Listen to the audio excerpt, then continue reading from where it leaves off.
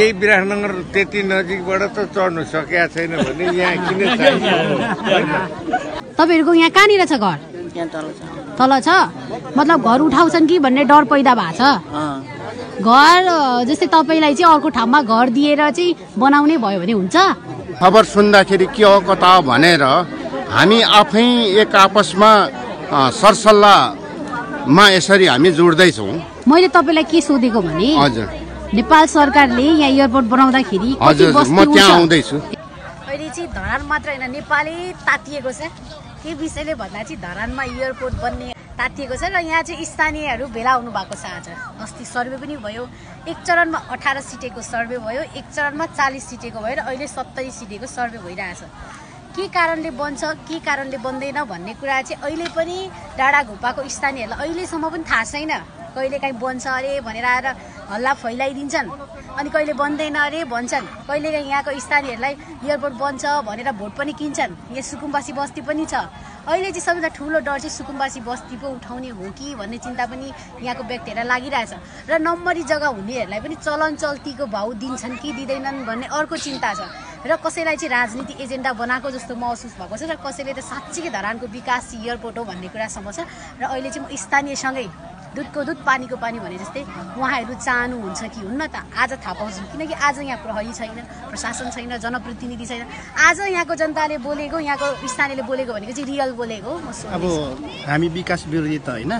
अब सर्वप्रथम के भन्न चाहन्छु भनेदेखिलाई यस डाँडो भूकम्पमा बसोबास गर्नुभएको सम्पूर्ण बासिन्दालाई चित्त बुझ्दो र एकदम उहाँहरूलाई चाहिँ मुआवजा कसरी हुन्छ खुसी बनाउनु पर्यो त्यही मात्रै भनाइ त्यो भयो भने चाहिँ तपाईँहरू बन्न दिने। हजुर चलन चल्तीको रेट पाएन भने नदिने भन्ने। अब सरकारी रेटमा भने त अब नमान्ने। नमान्ने अब रेलवेमा पनि अब सरकारी रेटमा के हामीलाई दिलाइदिनु पर्यो भान्चोकमा सरकारी रेटमा रेलवेतिर अर्को ठाउँमा किन्नको लागि हामीलाई सहज हुनु पर्यो भन्ने तपाईँको कुरा होइन त।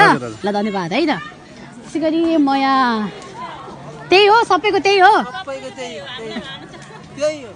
त्यही हो ल ठिक छ ल। ल के छ अलिकति आउनु न दाइ बुढापाकालाई सोध्नु पर्यो नि त। के छ आमा? एयरपोर्ट बन्छ कि बन्दैन? बन्नुपर्छ कि पर्दैन? कहाँ बनेर हामी चाहिँ कहाँ जानु? मरेर काल आउने बेलामा? तपाईँहरूको यहाँ कहाँनिर छ घर? तल छ। तल छ? मतलब घर उठाउँछन् कि भन्ने डर पैदा भएको छ?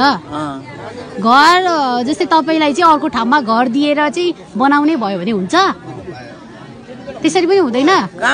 कुन ठाउँमा पुग्छ कोही कहाँ पुग्छ कोही के अनि एयरपोर्ट नबनोस् त। नबनाओस् हाम्रो लागि हो। के छ हजुरको के छ सिस्टर? त्यही न नबनाओस् नबनोस् भन्ने हो। अनि मेयर साहबले जग्गाहरू हामी उपलब्ध गराउँछौँ बन्नुपर्छ भन्दै हुनुहुन्छ नसघाउने मेयर साहबलाई?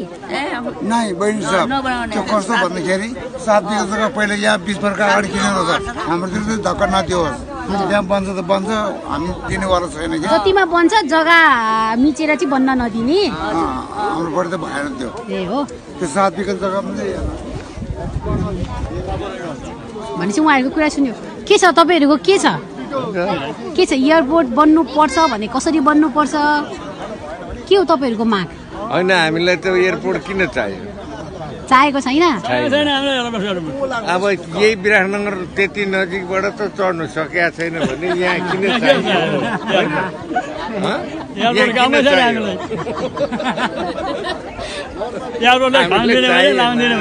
हामीलाई एयरपोर्ट चाहियो। अनि विकास हुन्छ नि त यहाँको रोजगार पाउँछ मान्छेहरूले। यता सुन्नु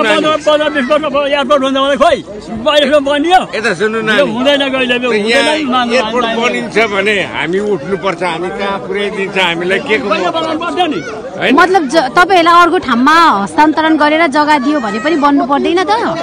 होइन हामीलाई अर्को ठाउँमा दिएला यहाँ एयरपोर्टमा चढ्नु आउनु पाउँदैन होला हामी। ठिक छ। के छ हजुरको के छ? हजुरको के छ? मेरो त होइन त केही छैन। म त उताको हो मलाई थाहा छैन। होइन बुढापाकालाई सोध्न खोजेको मैले। यस्तो नानी त्यो प्लेन भन्दा हामी अगाडि नै जान्छौँ माथि।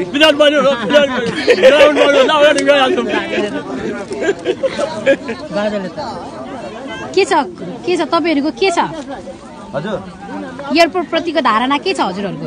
हामी त एयरपोर्ट चाहिएन पनि हामीले त अब अब हामीले खाइ नखाइ होइन दुःखले अब यस्तो ठाउँमा घर अब सानो सानो झोपडी पारेको छ नबनाउने हामीलाई चाहिँदैन त्यही त यहाँ त चाहिने भन्दा नचाहिने भन्ने धेरै जस्तो देखियो त।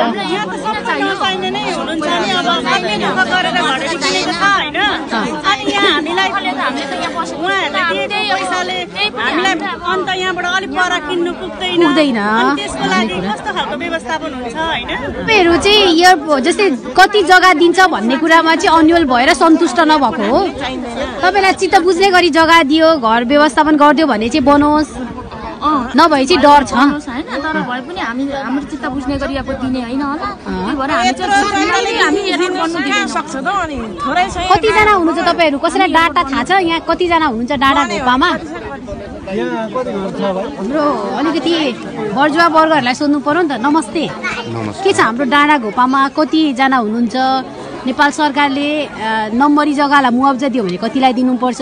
सुकुम बस्तीलाई चाहिँ स्थानान्तरण गर्नु पर्यो भने कतिलाई गर्नुपर्छ? के छ एकछिन डाटा अब यो खासमा भन्ने हो भनेदेखि अहिले टिएलओहरू पनि गठन भएको छ। सबै कुरो यहाँनिर अब व्यवस्थित नगरपालिकाबाट हुँदै आएको अवस्थामा हाम्रो यो डाँडा घोपाको टिएलओ अ, बाट चाहिँ यो कुनै सङ्कलन गर्यो गरेन त्यो हामीलाई थाहा भएन। त्यो थाहा नभइरहँदाखेरि यहाँ एयरपोर्टको हल्ला भयो। हल्ला हुँदा हुँदै हामी चाहिँ अब। यहाँ यो खबर सुन्दाखेरि के हो कता हो भनेर हामी आफै एक आपसमा सरसल्लाहमा यसरी हामी जोड्दैछौँ। मैले तपाईँलाई के सोधेको भने हजुर। नेपाल सरकारले यहाँ एयरपोर्ट बनाउँदाखेरि हजुर म त्यहाँ? आउँदैछु। आउँदैछु। र यो सङ्ख्याको हिसाबमा अहिले नै जग्गामा बसोबास गर्नेहरू पनि हामी छौँ। र नम्बरी? जग्गामा बसोबास गर्ने। पनि छौँ। त्यो डाटा आज हामी यहाँ तयार्दैछौँ। र वास्तवमा मैले टिएलओलाई जोड्नु खोजेको चाहिँ यो टिएलओलाई सबै कुरो यो चाहिँ थाहा हुने कुरोहरू हो। र उहाँले नै अब सबै कुरो लिड गरिरहेको अवस्था। तर आज टिएलओ नहुँदाखेरि चाहिँ हामी आफै नै स्थानीय नै भेला भएर आज यहाँ हामी डाटा तयार्दैछौँ। र। हजुर।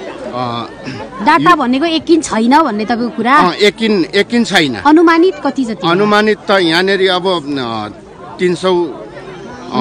ज्यादा नम्बरी नम्बरी जग्गा यो पनि अब यहाँ पहिलाको चाहिँ अब सात बिघा जग्गा चाहिँ एयरपोर्टमा छ भनेदेखि अरू यहाँ लगभग चालिस बिघाको हाराहारीमा हामी बसोबास गरेका छौँ। त्यो बसोबासको एकिन डाटा यति उति भन्ने छैन एक हजार। दुई हजार थाहा छैन? थाहा छैन त्यो त्यो तपाईँहरूले एकिन। गर्नु पर्यो र गर्दाखेरि एलानी जग्गा कति छ? सुकुम्बासी बस्ती कति छ? नम्बरी कति छ? कसलाई कति चाहिँ राज्यले गरिदिनुपर्छ भन्ने कुरा त तपाईँहरूले डाटा वाइज सरकारलाई दिनु पर्यो नि त। बन्नुहुन्छ हुँदैन हो, भनिरहँदाखेरि पनि नम्बरी जग्गा। यतिलाई मुआवजा यसरी तैँले दिन सक्छस् भन्ने बन्नु पर्यो। एलानी जग्गा हाम्रो सुकुम्बासी बस्ती यति छ। यसलाई स्थानान्तरण गरिदिन सक्नुहुन्छ भने बनाउन एग्री छौँ। हामीसँग यति छ भने त टिएलओहरू यहाँको अलिकति सजन वृन्दहरू अलिकति बौद्धिक वर्गहरू त जानु पर्यो नि त। हजुर हजुर। त्यो कुरा। तपाईँहरूले गर्नु होला। मैले अनुरोध गरेको। यसको लागि नै हामी आज तयारिँदैछौँ। र सबैको डाटा कलेक्सन हुँदैछ र यो डाटा कलेक्सन गरिसके पछाडि अहिले नै हामी यति नम्बरी यति र यही आधारमा चाहिँ हामी ज्ञापन अनुमानित केही छैन सर? एक हजार दुई अनु- हजार भन्ने? अनुमानित चाहिँ अहिले अब ठ्याक्कै नभनिहालौँ। किनभने अब? सालुन नै यहाँनिर बस्ती बढिरहेछ। यो बस्ती बढ्नुको लागि अब बढिरहेको अवस्थामा अब कति नयाँ आउनु भएको छ उहाँहरू पनि। अब बसोबास अ, मै गर्नुको लागि नै आउनु भएको हुनाले अहिले ठ्याक्कै भन्नु सक्छु हजुरको शुभ नाम? मेरो दिल्ली सेर राई